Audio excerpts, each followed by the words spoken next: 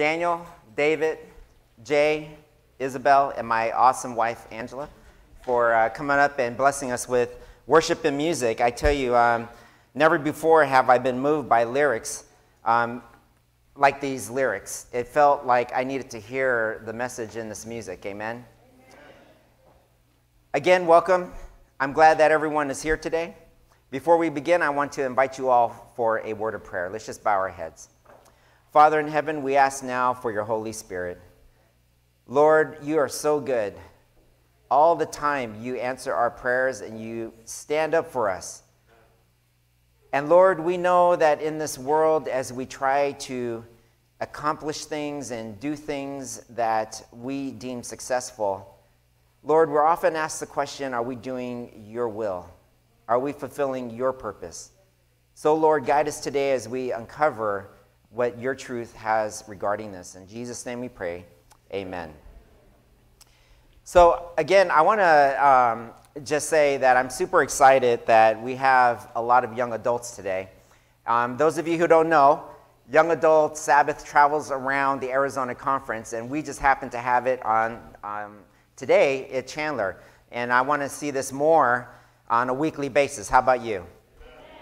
Um, you see, the, God's truth is not just for the kids and it's not just for the old, but it's also for those of us who are young adults. Amen? And um, even though I'm getting up in years, I consider myself still an adult that's still very young. And um, and many people try to guess my age. I don't, you can try to take a lottery and see what, what you think I am. But remember, my family's from Hawaii, so I look much younger than I, uh, I look. I hope. I hope. Amen. Thank you for that. I'll pay you later. Um, I have some people here that I've, i um, need to acknowledge. I just um, went to Thunderbird Adventist Academy's um, final game and they were at ASU and they won the state championship, the first time ever for Thunderbird Adventist Academy. So I have Thunderbird Adventist Academy watching. Let's give them a round of applause. And um, it was awesome because um, they had to stop the, the game in the fourth inning of a thing called the mercy rule. I didn't know there was a, such a thing as a mercy rule, but by the fourth inning, um, the score was already 32 or 34 to 9. Or, or, and so they said, we need to end the game um, out of mercy. And I thought, wow, how awesome is that to end the game out of mercy? I would have been curious to see what it would have been at the end of the seventh, maybe 100 to 9 or something. But uh, they, were, they were just dominant. It was awesome. And so while I was there, I had a chance to talk and meet with a, a person who went to Ukraine with my brother, Dr. Troy Anderson. And uh, that's Chris Colson. I see him there. He raised his hand. I'm so glad that you made it back safely from Ukraine. He was in the war zone. He's a young adult that put himself out on the line. And um, the question that we got to talking about at this ball game while TAA was just completely creaming this other team was what is God's purpose? How do we know what God's purpose was? And I got a lot of intel from him. And so um, um, today we're going to be looking at the question, the fundamental question that not just young adults ask, but even those of us who are older and those who are in high school as they're going to life is what is God's purpose in my life? What does God want me to do? What is God's purpose and will for my grandkids? What is God's purpose for my brother, my sister, my children? And so, what I'd like to do is turn to the scripture to ask that question and find the answers. Now, one of the things that we, we um, um, will notice and um, I'm going to ask my AV team if you can just advance the slide for me because this doesn't seem to be working for me. So thank you so much for advancing that. Um, there was a study that was recently done by Forbes magazine and Time magazine. You all know those magazines. They're, they're, they're famous. You see them in, the, in Walmart. You'll see them in the stores. You can buy these magazines at airports. And it was based on a study that was done by Ohio State University asking the question, what are the greatest desires that people have but cannot attain? What are the greatest desires that people have but cannot be attained? And Forbes magazine and Time magazine created a list. Now, if you go on the internet today, you will see, if you just type in um, what are people's greatest desires, you're going to see this list pop up. And they are nine different things that people want in life. So let's take a look at this list. All right, number one. Go ahead and advance the slide. People look for a long, peaceful life. Now, some people say, I want to live forever. But, you know, Gulliver Travels, if you read the book, there was an island that he came upon where people were living forever, but they got old and decrepit. Now imagine living a life old and decrepit. You can't move. You're, you're, um, you can't even, you can't, you don't have a quality life. Well, what people want today is a life that is long, but a peaceful life. And so we can add to that. Number two, the second thing that people look for is quality years. So as we, as we go on through life, starting from college, and you start to, to discover things as you're getting older, you begin to realize that you're not immortal. So you want these long years, but you want them to be peaceful and you want to have quality in those years. Amen? That's what we look for. Okay, another part of a desire that people ask for. Number three, let's take a look at that. They look for true love. How many of you are looking for true love? Right? Some of us are single. Some of you are, are, are looking for that soulmate. And when you're looking for true love, the number one thing that you're looking for, thank you so much, is faithful love. Someone that is going to be faithful through thick and thin, right? Someone that is a person that will be with you whether you're sick or poor. I mean, we're talking about true, long, enduring, faithful love, right? That doesn't just end with true love's first kiss, okay? You want something that when you're old and you're already in years and, and you're coming to your spouse and you and you know, I want to kiss, honey, and, and then they say, okay, hold on, let me put my dentures in. Otherwise, they'll be kissing you like, right? We want, we want something that is beyond the physical. We want something that is meaningful from inside, right? We don't want something that's on the surface because we could be attracted to someone on the surface, but just wait a few more years down the road and that beauty starts to fade away. So it has to be a beauty from the inside. And this is what, what, what Time magazine was saying that people are not looking only for love, they're looking for a true love that has faith and, and long lasting love. Now, the fourth thing is that people look for great success. Great success. And we measure success many different ways. Okay, for me, I measure success um, just getting my Honda minivan to start and make it here without overheating. Okay? My brother, Dr. Troy Anderson, he measures success by the um, how low his 50 series low profile tires can handle a road at 100 miles an hour. He's driving a BMW, you know, that's his measure of success. And he says, Oh, yeah, God is good. It's like, okay, well, why isn't God good to me that way? You know? Is that a measure of success? So we're going to ask the question what is our measure of success? The fifth thing that people look for is an effective and efficient straight pathway to success without meandering along the road of life. You know how it is. I, when I was growing up, I was planning to go to medical school. Dr. Jennings, I was planning to be a doctor. But God didn't call me to be a doctor, so I took some time out and I went and got a master's degree. So I got an MBA degree, then I went to law school, and God kept moving me around, and He said, You know what? I need you to do something else for me. I, I, I kid you not, being a pastor was the last thing on my mind. You see, I didn't want to be a pastor. The gospel ministry didn't, wasn't appealing to me. But God called me to it. You see, so God had some other plan for me. And so I was able to track on God and, and finally release all of these desires that I had for my own life. You know, I'm the guy, how many of you have a five year plan? Y'all know what about a five year plan is? Okay, I was the guy that had a 15 year plan. So what I did is I actually created a resume on what I wanted my resume to look like. I would go to Princeton University. I would have so many experiences and internships in biomedical services and research, okay? I, I, I, actually knew exactly what schools I wanted to go to.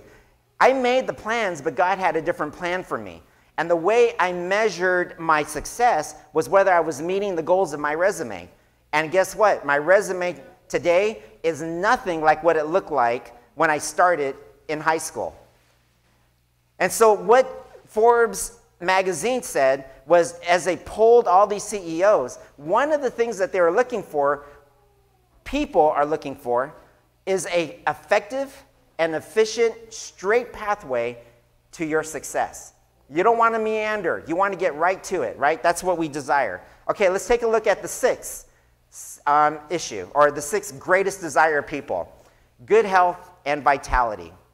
Good health and vitality. Now, our measure of health today is totally different than it was, like, say, back in the 1980s. You know, back in the 1980s, health and vitality was just being able to, to last in, the, in, in dancing for at least two or three hours. Okay? No, they weren't into the, the, the things that we're into today. So back in, in the 1980s, health and vitality was measured by how many of those Jane Fonda Pilates yoga things you can do, right? Suzanne Somers had the thing where you would do the squeezy thing with your legs, okay? Back in the 1970s, they had a little roller. If you wanted to lose fat, what you would do is you turn this machine on and it would start rolling, and you would have to sit on it and go like this. Oh, I'm losing fat because it's getting itchy. You remember that? Did anyone ever do that? Okay, or is it just my family that did that? Okay? This is why I'm fat up here and really skinny down here. kidding, kidding. Today, how do we want good health and vitality? Well, we go to the gym, and they have a new thing now called uh, CrossFit. So it's no longer okay just to sit there and do the, the weight on the training. You know, you get on the treadmill and you start running, right? And you say, oh man, I'm, I, can, I can increase my speed. I'm going three miles an hour, right? Three, no, no laughs yet? Okay, three miles an hour is super slow. Okay, so you take it up to four and you start to do a slow jog walk, right? And you start to increase your speed and you say, okay, I'm gonna, I'm gonna make sure I can do a, a 5K. See, we measure our success whether we can accomplish a 5K, then a 10K, then a marathon or a half marathon, then a marathon, okay? And after we accomplish that, I'm gonna get into CrossFit. So, CrossFit is, is where you take these big tires and you lift them and you try to push them over to the other side of the room. And by the time you get to the other side of the room, you're going, whew, man, I'm, I'm fit. I'm fit. Okay, when's the last time you had to move a tire in your life? Right? They're trying to work out the whole body, though. That's the, that's the thing. So, this is what we're looking for. We're looking for something that will give us good health, but not just good health, but that we're we have vitality, right? That we're like, we have energy, we have vigor in life. Okay? How many of you woke up this morning and you're like, oh, I got bags under my eyes. I got to stick some of that power drink into me. Drink a monster truck or a coffee, and all of a sudden, zing, right? And then by the end of the day, you're, I need another coffee or something, right? Is that what we mean by vitality? Or is it getting up here and just having a good time? Okay, so we're going to see what the Bible says about having a, a life of vitality. The seventh thing that people desire was the ability to provide for their family or provide for themselves. Now, more so now today than the past, this is becoming more and more an issue. For example, you all know that when you go to the supermarket now, you, you may or you may not be successful in finding your favorite bread. Right? Or you might be going to a place like Sam's Club or Costco, and you say, I'm going to buy myself a 25 pound bag of flour only to discover that there's no flour left there. Okay, so, so this issue of providing for our family is becoming more and more of a problem today. How many of you had to fill up with gasoline yesterday or today to come to church? Anyone pay less than $10? No? No? Okay, anyone pay less than $20? If you do, I, I need to know what vehicle you're driving. Okay, maybe an electric vehicle? No, no dollars? Okay? I had to put gas in my vehicle, and it cost over $30 just to fill up quarter tank. Okay, quarter tank to half tank.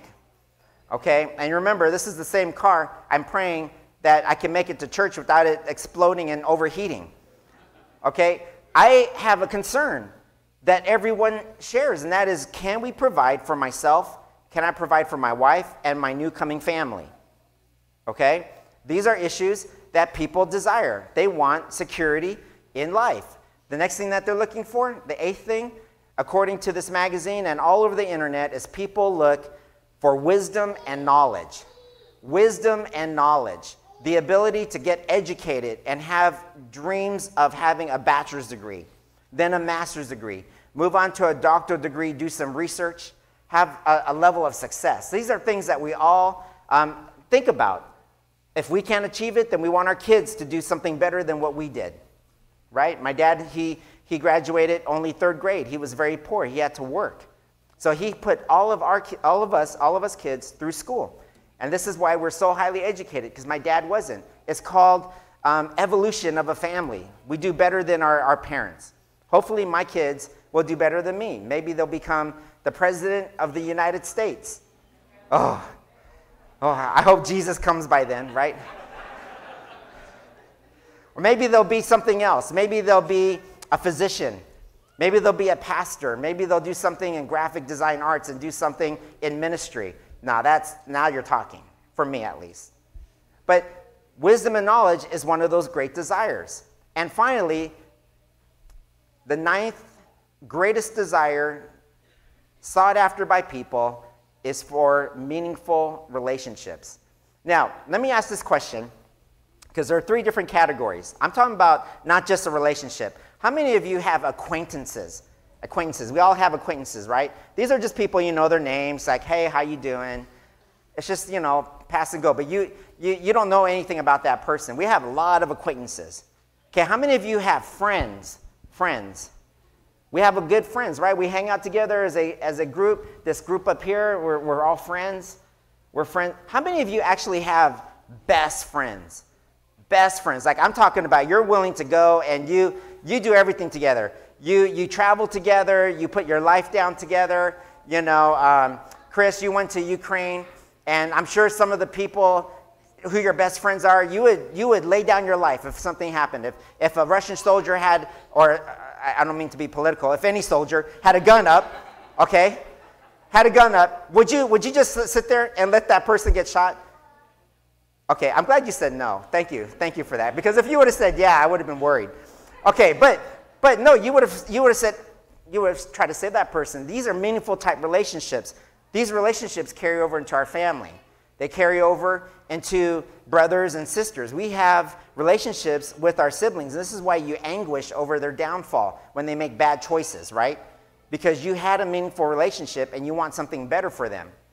Okay, now, as we take a look at this list long, peaceful life, quality years, true love, faithful love, great success, an effective and efficient straight path to that success. I'm looking for good health and vitality provide for family. I want wisdom and knowledge to be able to do all these things. And lastly, I want meaningful relationships. So, what do we do as humans? Here's what we normally do as we are graduating out of high school and we're getting into college. Okay, as we look at this list and you're now going into the corporate world and the business world, you start to work out, right? You start to build yourself up. You're starting to rely, you see the strength that you build and you're starting to see success. You get that degree. You discovered that, man, that bachelor's degree was harder, and I'm going to go for a master's degree.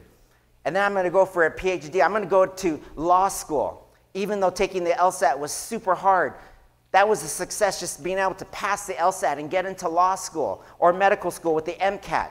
Okay, not easy. Not everyone can do these things. Or going into seminary and becoming a pastor. It's not easy being a pastor. But we see, we measure our, our abilities to achieve all these desires by doing things that we want to do. Then you get that job. You get that corporate job, and man, you're, you're cutting the deals, you're, you're making the company a lot of money. And your measure of success is all of the awards that are hanging, hanging on the wall and the trophies of how many uh, sales you made, right? Then we um, start to look at our bank account.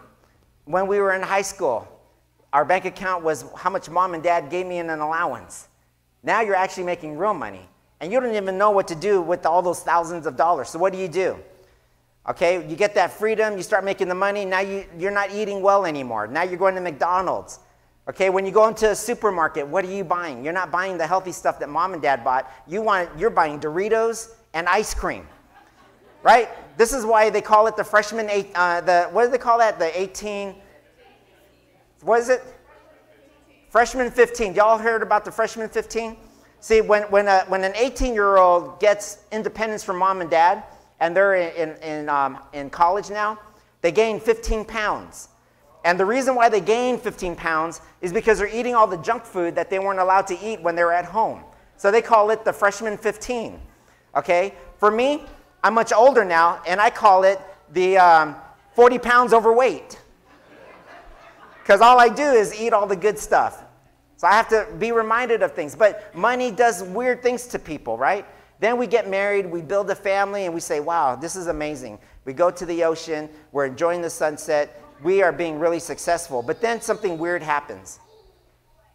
As we're there with our friends and we're, we're having these relationships, we begin to see that through the years one year, three year, five, seven, ten years these are the big markers we begin to see that the very things that we desire begin to fall apart. So we start to see that we're, as we're aging, we get muscle cramps. We start to get injuries in sports. We realize that we can't rely 100% on things that we can do with our bodies.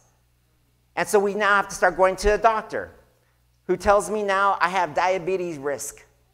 And so I have to start going on medications.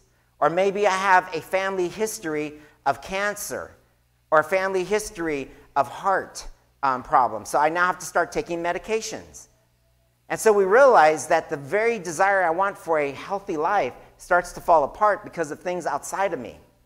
And then that, that corporate job that we have, we get the infamous pink slip. They have to downsize. Because of the pandemic, they had to let people go. We had to close down our shop. And these are things completely outside of our control. These are things that we um, didn't decide for ourselves, but it's the way of the world. And now we begin to see our dreams begin to fall apart. And as we look at trying to manage our finances, all the money that we attain now are now starting to go into a mortgage payment. Anyone try buying a house lately? Okay, you can get maybe a one or two bedroom apartment and you're paying about $2,000 a month. So you say, I'm going to go ahead and buy a house. So you go and try to put a house down, but you realize you have to put $20,000 down for a house. You might get 2.75% interest rate, but good luck trying to find a house in this market. There are no houses to be had anymore. Okay, so things are really, really getting to the point where we don't have these the, the, the, the power to have the success that we want because of outside influences. And so we start to look at our finances and we discover that some of us might have to file bankruptcies. That marriage that you thought was really solid, that faithful, true love, had a, a, a point because you didn't really know that person. And all of a sudden, when it came down to it, spiritually, you weren't walking together. So the very things that drew you together are now pulling you apart to the point where we start to say, That's it for me. I'm done with it. And we see the divorce rate increasing more and more. And these very friends who we relied on start to go their own way, and we start to have disagreements because some of us have to take a path that may not be in line with what your friendships used to be like. So, what is the answer? As we sit and we ask the question, what does God want from me? Why do things keep happening? And am I on the right path? Is my brother making the right decision? Is my sister making the right decision? Are my children doing what God's will is for them? And as we sit and we contemplate, some of us are like this individual on the, on the photo. We're, we're depressed. We sit alone in our room, and the question is, is why am I even here? How many of you heard of all the recent suicides lately? It doesn't matter what your, what your success is in life. For example, Naomi Judd just got inducted into the Country Music Hall of Fame on Monday, but she committed suicide on Friday before that. So her measure of success was something that was outside of, of, of herself, but she needed something a little bit more that could keep her hanging on. And this is where we find ourselves today. Well, I'd like to propose to you this morning that as we ask this question, what is God's purpose for me? That we can actually find the answer in the scriptures.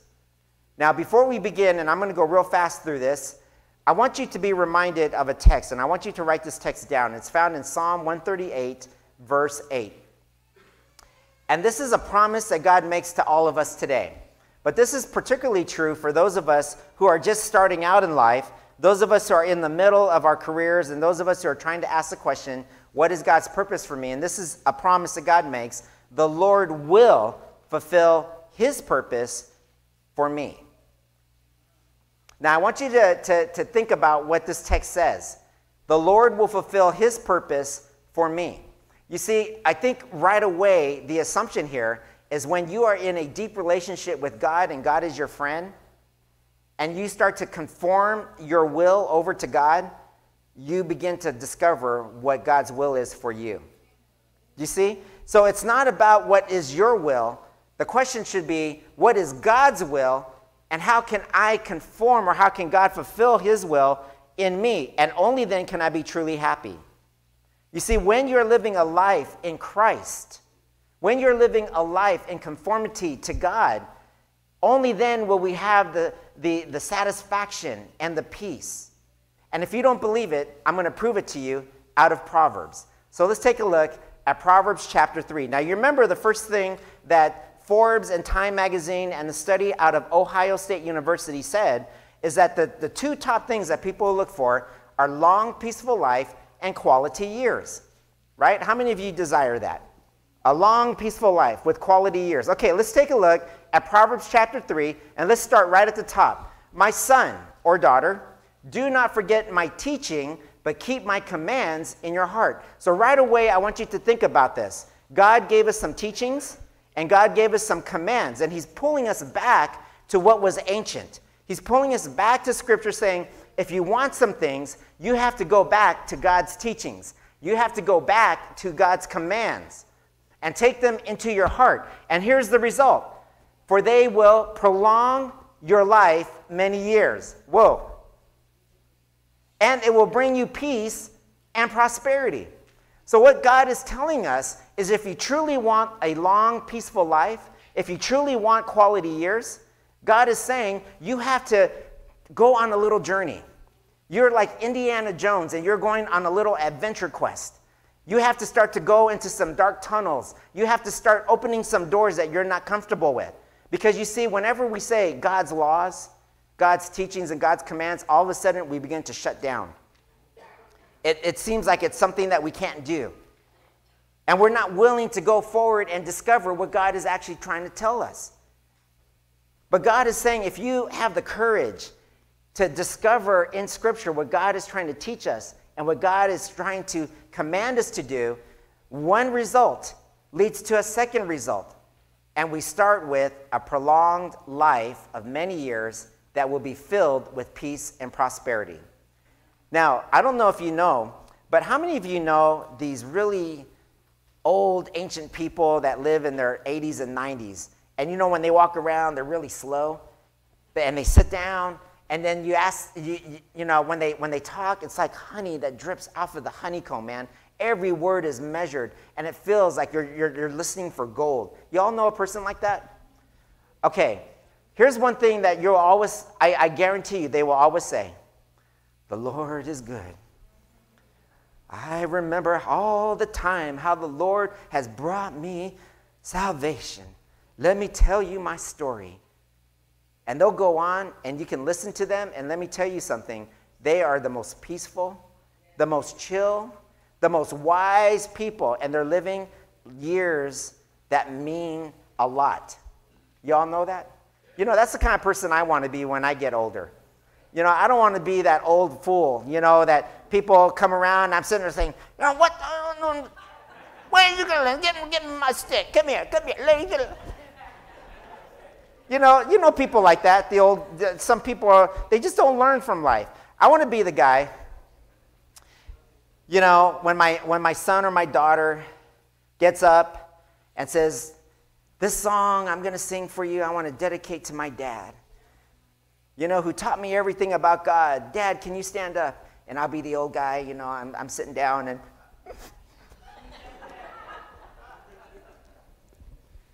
I pray God right? You've seen people like this, right? Prolonged life with many years of peace and prosperity, and you're thankful for what God has done for you. You see, I want to be the guy that's grateful. And when people come and they, they say, hey, you want to talk to Pastor Anderson? You got to go into his garden, man. That's where he's at. And you come in, I'm there with all my roses and all my, my tomatoes, and you hear the music to Godfather. No, I'm just kidding. Okay? And then when they ask me questions, I'll say, turn to Exodus. You know, you want to be that wise person like that. Well, God says, go back to his teachings, go back to his commandments if you want a long, peaceful, quality life.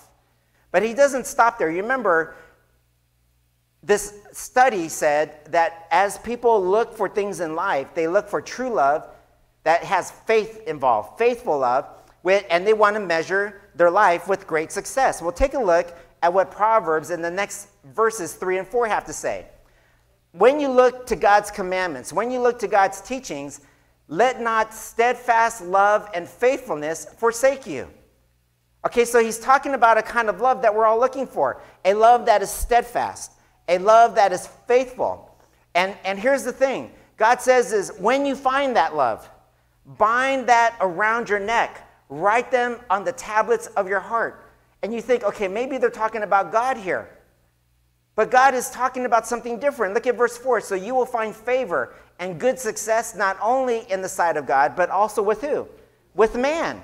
So what we're talking about is a kind of success that is, is something that you can't see.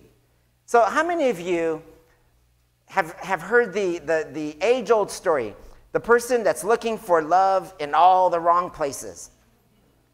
You know, I've been looking for love in all the wrong places and you're looking for that beautiful blonde that wears those nice tight jeans or, or you know you measure your, the, the beauty of a person based on what they look like and what they wear.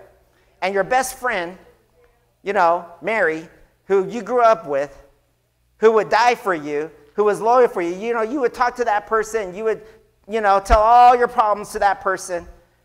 You're looking for love and love was sitting there all the time how many of you look and judge for a, a soulmate in a bar? Okay, brother, I saw you raise your hand. You can put it down. yeah, yeah, yeah. Okay, yeah. Two hands up. Guilty. But you're here in church today. You realize that you don't find love in places like that, right? You got to look for something else. You got to look for something that's deeper. And this is why God says, make sure that when you are together that you are e- equally yoked which means that you are spiritually resonating with that person. And here it says, You will find favor and good success in the sight of God and man. And this is uh, for men. Here's, here's the important thing you got to choose the right woman. And here's why because that woman's going to be the crown on your on uh, the jewel on your crown you know they represent you and you want someone that represents you not someone that's going to uh, do things that make you do bad things. And it goes the other way around too. Women choose a guy that brings you closer to God and, and really brings your values out and not someone that makes you make bad choices. Okay? It's not okay to date somebody who starts talking bad about your mom and dad. It's not okay to date someone who starts to say, man, you ought to, you ought to just enforce this thing about, you know, tell everyone get out of the house because that house belongs to you. Okay, that's none of their business. As soon as they start putting divisions among your family, you know that you're in the wrong pathway. Definitely don't go with someone that says, hey, let's go out and party. I'm going to sit in your lap and let's go 130 miles an hour on the freeway. You know what I'm saying? You don't know what I'm saying? I guarantee you, there's someone who's watching right now that knows exactly what I'm saying. Okay? Because they've done it. They've done it. 130 miles an hour while they're sitting on the lap. Tell you what, I ought to slap that person in the head. But I'll leave that to God. I'll leave that to God. You know who I'm talking to. You're watching online right now. Okay, I don't mean to point anyone out. All right, the fifth thing an effective and efficient straight path to success. You know, we want that straight path. We don't want to waste our time. Look at what it says in verse 5 Trust in the Lord with all your heart. You all know this verse. Do not lean on your own understanding. Because you see, God has the big picture. We only have a myopic view. We only know what we see in front of us. In all your ways, acknowledge who? God. So right away, God's saying, if you want all of these things in your heart, you got to put your focus on God. Didn't Jesus say the same thing? Seek ye first the kingdom of who? God. And all the what? These things and his righteousness and all these things what? Will be added to you. Well, here we see. In all your ways acknowledge God and he will make straight your path. You know, I think that maybe if I was growing up, if I would have just listened to God, I knew I was dedicated at the ocean. I knew that God, um, that, that my dad and my mom gave me the firstborn over to God and said, Lord, I want to dedicate Ed Jr. to you. I should have known that God was going to use me in some capacity, like what I'm doing today. If I would have accepted that, I probably would have been doing a lot more today. But you see, I wasted a lot of years going to law school, although lately I've been dealing with the law a lot lately. Not me, but others. Okay, I, I confess. No, just kidding. Just kidding. But you get what I'm saying. Sometimes if we make choices and decisions with God, God will make straight our path. We don't have to waste some time. And we can, we can do things that God asks us to do. Now let's take a look at this next one here. Good health and vitality. I kid you not, the Bible says this. Take a look at what it says. Be not wise in your own eyes, fear the Lord, and turn away from evil. It will be healing to your flesh and refreshment to your bones. Okay, so in other words, God is saying, don't rely 100% on what you think you know. Rather, turn to God, turn away from evil, and you will be blessed. Now, what are the evils of the world? We already know that if you drink too much alcohol, you're going to have an evil result. You'll get drunk, you get a DUI, you end up in prison, and all of a sudden you're crying to the Lord, Lord, why did you do this to me? God didn't put the alcohol in your glass. God didn't make that decision for you to go in the car while you were drunk. Those are consequences that we make ourselves. So, why do we blame God for choices that we make, the evil of our world and the choices that we make, and we all of a sudden blame God? No, God says, be wise. Don't look at yourself. Look and turn to God and turn away from these evil things, and it will be a healing component to your flesh. Did you know that the Bible says that there are some health laws? He tells us what not to eat. He tells us what not to drink. He tells us when we should rest and how much we should rest. He tells us that He created the sun so we can get sunshine. Do you know that if a person um, stayed indoors their whole life and never got exposed to sun, sunlight, what would they suffer from? Vitamin D deficiency. Okay, the sailors, why did they keep oranges on, on their, their ships? because they would get scurvy. You know, God created all these things. He says, Follow my teachings, follow my laws, and they will be refreshment to your bones. Refreshment to your bones. So here we see that the Bible has some answers, but the question is, is where do we find them? Ah, you need to start reading your Bible to find the answers to, the, to these successes. Okay, let's look at the next one. Number seven, provide for your family. Okay, many of us are worried about that today. We have a big famine coming. There's famine all around the world because of what's happening in Ukraine. We don't have fertilizer. Um, the markets are now um, without flour. So we have an issue now. How do we provide for our family? Honor the Lord with your wealth. Wow, I can honor the Lord in many ways, but I didn't realize that we can honor God in our wealth. Guess what? Nothing belongs to you. You came into the world with nothing, you will leave the world with nothing. Anything that you have is because God gave it to you. Even the ability to acquire wealth, your mind and your degrees, all of these things God gave to you so that way you can acquire your wealth. Honor the Lord with your wealth and with the first fruits of all your produce. In other words, everything that you get belongs to the Lord. So honor God with the first fruits of everything. It's not just money, but it's your children, it's your house, it's your clothes, it's your health. Everything that you're about belongs to God, so honor God with the first fruits of that produce. Then look at the, look at the result. Your barns will be filled with plenty. Now, they're using old language because back then they had barns that were empty. Here it says, barns will be filled with plenty. So let's put it in modern day language. Your pantries will be filled with lots of food. Your bank accounts will have some money. Okay? And notice what it says here. Your vats, you know what a vat is? It's like one of those things that hold, you know, liquids. But a vat is different. It holds wine. It says vats will be bursting with wine. Now, if you're an Adventist Christian, here's what you, I would read. Your pantries will be filled with lentils and beans and gluten-based plant products from Loloma and Worthington brand. You will have cases and cases of FriChik and Skallops and big franks. And rather than your vats, okay, here's going to say, your refrigerator and all your, your liquid containers will be filled with soy milk. Okay, here's the thing I like it better from the Bible. I want my vats to be bursting with wine. I don't even drink wine. I can't stay. I get headaches when I drink wine. But it's going to be filled with something that I enjoy. Now, here's what God says if you honor God, you are going to be able to provide for your family. You are going to provide, and you have to trust that God is going to do that for you. Let's take a look at wisdom and knowledge. Now, wisdom and knowledge, God took some time on this. And I want to say a word about this. My son, do not despise the Lord's discipline or be weary of his reproof, for the Lord reproves him who he loves, as a father the son in whom he delights. You see, some of us are going to go through things that God needs to take us down on our knees. Anyone experience this? Okay, we might go through some stuff that we have to turn to God, and then we see that God is just trying to teach me something. So we have to be able and willing to accept God's teaching. And when we start to understand, we start this pathway, this journey to achieve knowledge and wisdom. So look at what it says Blessed is the one who finds wisdom. Wisdom is the application of what you know. So you can acquire all this knowledge, and then as soon as you know how to apply that knowledge to something, that's called wisdom.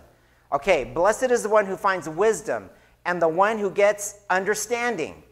So that's knowledge. For the gain from her is better than gain from silver, and her profit better than gold. She is more precious than jewels, and nothing you desire can compare with her. And look at the result of this. When you can have wisdom and knowledge, long life is in the right hand. So when you start to get educated, so this is this is a mandate from God. God is saying, get your degree, get educated. Yes, Jesus is coming soon, but don't stop your life. Start to learn about some things. And here it says, in the right hand will be riches and honor. In the left hand, her ways are ways of pleasantness, and all her paths are peace. She is a tree of life to those who lay hold of her. Those who hold her fast are called blessed. So here we see in the right hand, long life. In the left hand, riches and honor.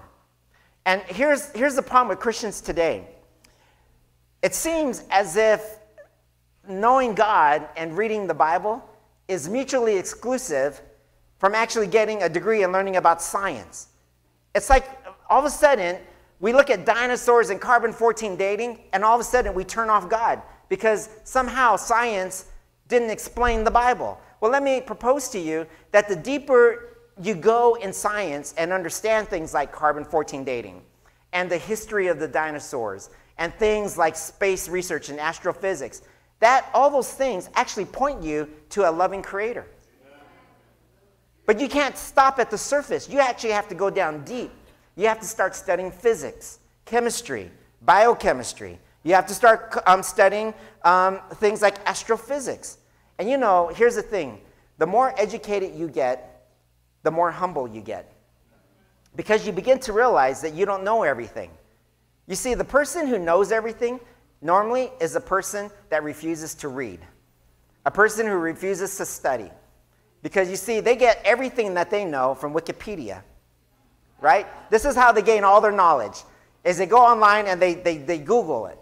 How about do your own research? Because here we see that when we seek wisdom and knowledge, you will have a tree of life to those who lay hold of her, those who hold her fast, will be called blessed. So let's take a look at these blessings.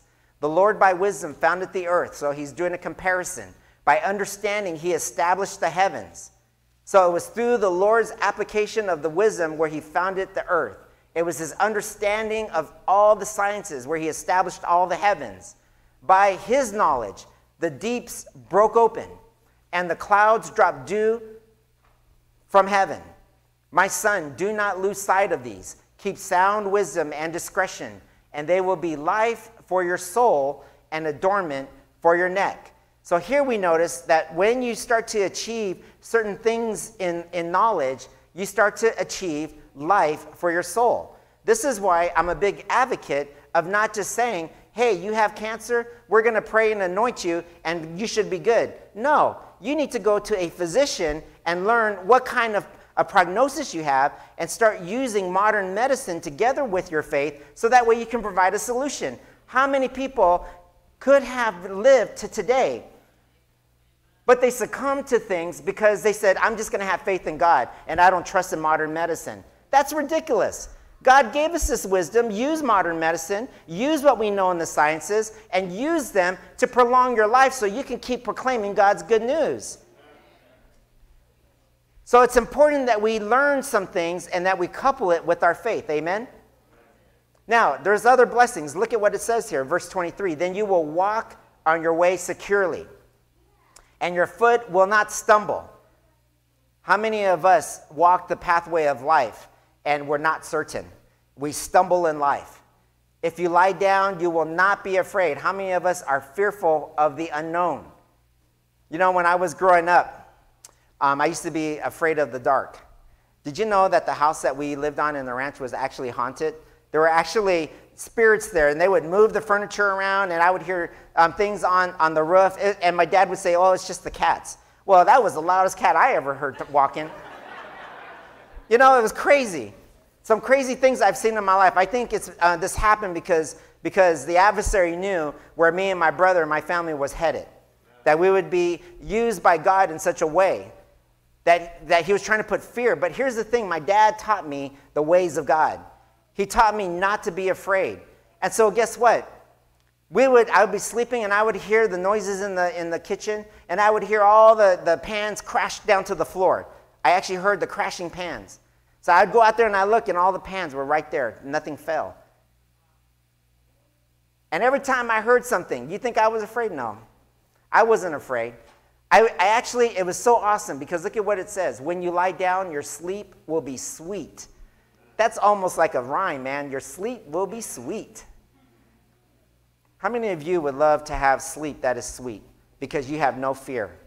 You see, when you follow God and you know the ways of God, and you know that God is powerful, and you know that there's this battle on the planet, and you know that you're protected by God, you can endure some things, and you won't be afraid of the dark. You won't be afraid at night. I told you the story. Um, you know, my mom, she's from Hawaii, and um, um, they're very superstitious on the islands. And so my mom, um, she, she grew up in that kind of culture of superstition, and it, it, was through faith in God that broke all of those fears. But sometimes at night, my mom still gets a little freaked out, you know, especially when someone dies, like when my dad passed away. So, um, so in my house, I have one of those remote lights, okay? It, it operates on a remote control. It's a, free, a radio frequency. So I can turn my light off and on with a little remote, okay? And um, when you walk down, sometimes um, the light will come on by itself because it's the same frequency as my neighbor's garage door opener. Okay? So I thought about playing a trick on my mom one day, having her go upstairs, and I'll sit there and, and press my garage door opener and have the light come on. But then I thought, no, that'd be too cruel on my mom. Okay, but here, I'm using this, this, this illustration. You see, I know that the light comes on because of radio frequency, knowledge. But to a person that is all superstitious and voodoo, taboo, tarot card kind of person, that would freak a person out. You see how lack of knowledge would make a person's way insecure? Where it would cause them to stumble, where their lack of knowledge of how things work in, in thermodynamics and physics of gravitation, how these things can make you lose sleep at night and you'd be afraid because you all of a sudden think about spirits and demons and stuff like this. God says, don't be a fool. Learn some things because there are some things in the natural world that Satan is using to fool you.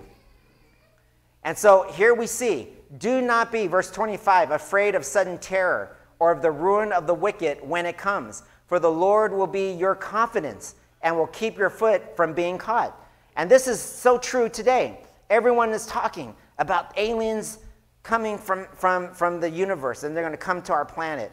You know, Hollywood has been, been prepping everyone's mind about aliens forever. And so, guess what? Maybe Satan is going to come as an alien, saying, I came here 6,000 years ago and I planted my DNA in the waters of earth, and you are my children. I am Jesus Christ the Messiah. And millions will believe it because they don't know Scripture.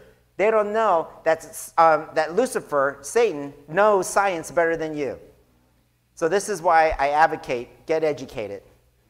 Learn some things so that way you will have confidence and you can sleep at night because you know that God is a God that is all powerful and He created all these things. Amen? All right, meaningful relationships, the last one. Do not withhold good from those to whom it is due. How many of you want to have a really awesome relationship with your neighbor, your friend, your coworker, all of these meaningful relationships? Okay, here's what God says. If you want to have a meaningful relationship, do not withhold good from those to whom it is due. In other words, if you have the ability, make it happen. Do it. Okay? When it is in your power to do it, do it. Do not say to your neighbor, Go and come back again tomorrow, and I will give it, when you have it with you right now.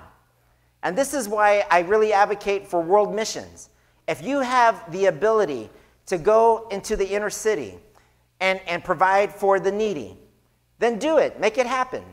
And you will discover that you will start to form meaningful relationships around those who are doing it with you and those who you are helping. By the way, are you going back to Ukraine in July? He's going back in July. Did you make some friends there? He made friends there. How long were you there? One week. One week. He was there for one week and he made meaningful relationships. Why? Because when he had the ability to provide a good, he didn't hold back and he gave it and it created a meaningful relationship.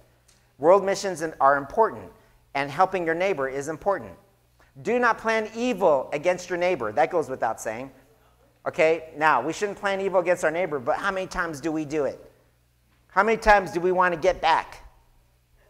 You know, I used to, I used to be that kind of guy that, um, man, you know, my neighbor just is messed up. Always messing up and always complaining all the time, turning me into the HOA. You know what I'm saying? Because you have your car out there, you're changing your tire, you have a, you have a, a, a trailer out there. You all laugh because you all belong to HOAs apparently, and you got turned in. Okay? And then all of a sudden you think, well, what can I do? I'm gonna, I'm gonna talk to my kid and see if we still got some of those rotten eggs. No, I'm not going to do that. But what do you do? You start thinking badly about that person. You start thinking evil about your neighbor. God says, Do not plan evil against your neighbor who dwells trustingly beside you. Do not contend with the man for no reason when he has done you no harm. And look at verse 31. If you want to have meaningful relationships, do not envy a person of violence and do not choose any of his ways. So I'm going to say this to you. If you are in a, a relationship and you're forming and that person is a person of violence, get out quick. Okay? If that person is abusive emotionally and physically, you need to start praying and get out quick. God says, Do not envy that person of violence. Do not choose any of his ways. For the devious person is an abomination to the Lord, but the upright are in his confidence. Amen? This is tough because nowadays people are making choices and then they only discover the dark side afterwards. Maybe you need to spend a little time and be patient and learn the dark side before you jump all in. And when you start to see the dark come out, start taking note. Red flags start going up, and don't get your heart too into that person. You got to start building some, some walls. Start relying on your friends and your family because your family, I can tell you one thing for sure. Those of you who know, you know this to be true. Friends come and go, but your family is blood, and they will stay with you all the way through the end. Now, some of you have family that written you off. And some of you have family that said, I don't want to have anything to do with you. If you are that person, you have another family. They're sitting around you. You have another family, and that is the Father in heaven. Your brother's Jesus. He is our forefather. So you still have a family, and God will never fail. Amen? So the Bible goes on in verse 33, and we're going to close it out here. The Lord's curse is on the house of the wicked, but he blesses the dwelling of the righteous. Toward the scorners he is scornful, but to the humble he gives favor. The wise will inherit honor, but fools will get disgrace. So, as we look at wisdom and knowledge, and finally, this idea of building meaningful relationships, the Lord is saying here that if you want to be blessed, if you want to be righteous, then be in the house of God. Learn about God, learn about His laws, learn about His, his ways. Towards the scorners, He is scornful, but if you are humble, God will give you favor. Amen? How do we find God's purpose? One, seek and listen for God in every moment. How do we find God's purpose? We find God's purpose by surrendering to God. Not relying on your own understanding, but relying on God. Knowing that the greatest wisdom is to know God much deeper. You see, we often judge God because we only think of God from what we hear. How about discovering God for yourself? Don't listen to what your grandparents or your parents say. You need to discover God for yourself because your parents and your grandparents aren't going to save you. So you have to journey on your own. You have to discover God and the wisdom that He can give you, and you can discover God's purpose for you. Amen? Amen? Finally, what would be the result? When you come to God and you listen to God, you surrender to God, you'll discover that heaven will teach you, will touch you, and, he'll, and God will teach you things that you need to know to give you a purpose driven life. This morning, I'm going to ask you all a question. How many of you here are willing to seek and listen for God? Amen. How many of you want to be touched by God? Yes. If you want to be touched, if you want to seek and have God as your friend, God asks us to surrender to Him. God asks us to find Him and find His purpose for us. Proverbs tells us that if you're willing to surrender, if you're willing to seek God, if you're willing to open yourself to God, then you can have all of these desires of your heart. How many of you want to do that this morning. I'm going to ask the AV team to turn down the lights in the house. And as the uh, worship team begins to play, I'm going to invite the uh, young adult prayer team to come up now. And uh, they're going to stand in the front here. And I'm going to ask those of you who want to know God and would want to know what God's purpose is to come up and we're going to pray for you. We're going to pray with you that as you open your heart to God, that God will meet you and that He will touch you. As the worship team sings, I'm going to ask those of you who are being moved by the Spirit to come forward now, and we're going to pray with you at this time.